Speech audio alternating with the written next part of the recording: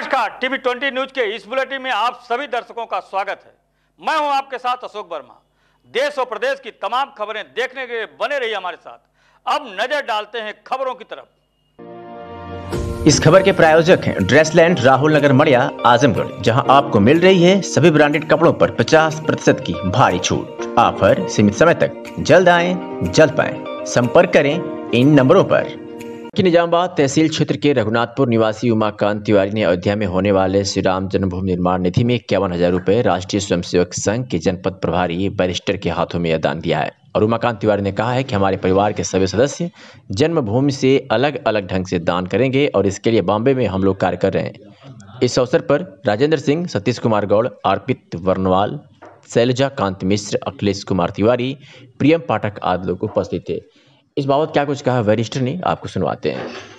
मैं यहाँ पर पूरे देश के अंदर जो समाज के अग्रणी लोग हैं उनसे संपर्क कर कर इस प्रभु श्री रामचंद्र मंदिर के निर्माण के लिए सहयोग के समर्पण के लिए मैं आज आपके पास यहाँ आया हूँ। जी।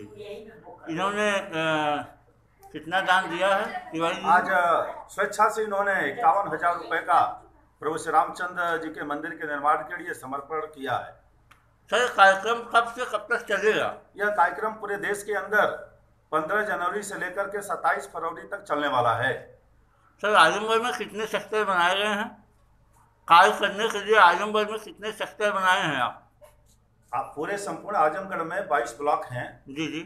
और इस बाईसों ब्लॉक में हमारा अभियान चल रहा है। संघ के दृष्टि से तीन ज़िले हैं।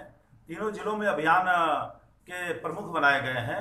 फिर उसके निचले स्तर पर न्याय पंचायत है। न्याय पंचायतों में भी हमारी टोली काम कर रही है। फिर नीचे ग्राम पंचायत स्तर पर भी टोली बनाई गई है, जो गाँव में डोर टू डोर जाकर के प्रत्येक हिंदू परिवार से, प्रत्येक कार्यकर्ताओं से, प्रत्येक व्यक्ति से संपर्क करके इस राम जन्मभूमि के अभियान के लिए सहयोग करने की योजना है।